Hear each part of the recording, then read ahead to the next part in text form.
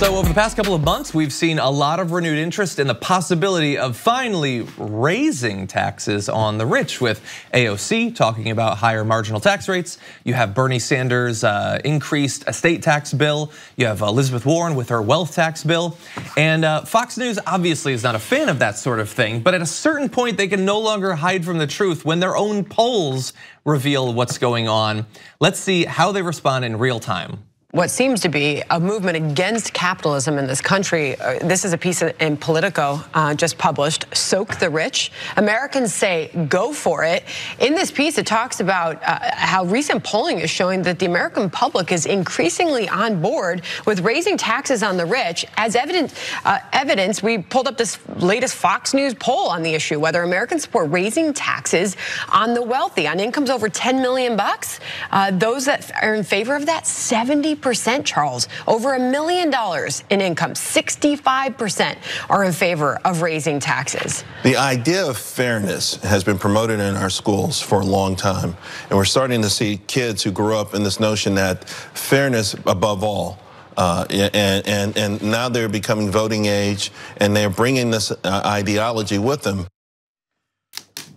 What? They revealed so much. They revealed so much about themselves. Okay, first okay, of all, uh, they don't know what cap. They, they, they're, well, their idea of capitalism. Oh, can you believe people are against capitalism? Do you know what capitalism is? Mm -hmm. It's destroying everyone else beneath you while you hoard everything you can, and, and only only winners are is doing that. So as we promote capitalism and then give it this rosy picture of like everybody gets a chance, it's not the case. That's not mm -hmm. what mm-hmm. capitalism is. And also, once you once you're faced with this uh, with with this reality, it's the schools.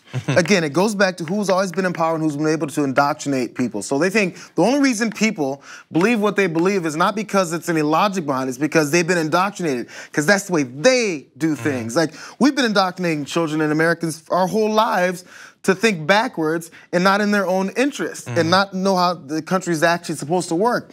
They begin to realize it, so they must be teaching them some BS around here. No, they're teaching them the reality, and now that must be indoctrination in those schools that we used to control mm. and bring and and uh, and and and uh, do some mind melds on people for. How does that work? I just love his responses. These kids and their fairness. Goddamn Varney. you can't. These kids in school wanting to actually to not have to be uh, swamped in school loans for the rest of their lives. Yeah. Oh, how dare they? Mm -hmm. That's that's not opportunity. This country's supposed to be for opportunity, not for just the same people get the same stuff and take it from everyone else. Yeah. hoping for that. Yeah. What what part of capitalism says that the top marginal tax rate should always be going down? Where where, where does it say that in the tenets of capitalism that they should always be lower than they were? That's not a part of it.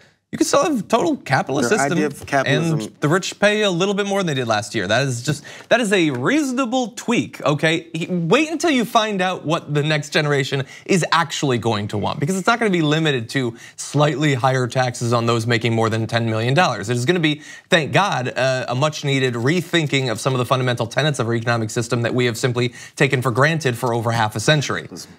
Wait until they see that poll, okay? Look, we talked last last week, I think it was, like a quarter of young Republicans are like socialism, not so bad. Wait until that is the dominant generation, the Republican Party, and then there's ones coming up behind them. The scare tactics anyway. aren't working the same as they used to, and now they're shaking. They're like, we used to be able to scare everyone mm -hmm. into our beliefs, and man, they're not scared anymore. Yeah. We need to limit this information, this flow of information, because that's their problem. Yeah, thank God they're not working. Okay, and by the way, Caravan. Okay, maybe that'll scare them. Um, so uh, one of the people who helped to start this conversation responded to that, that uh, video. AOC said, just wait until they find out about the golden rule. yeah, my God, do you guys read your Bible?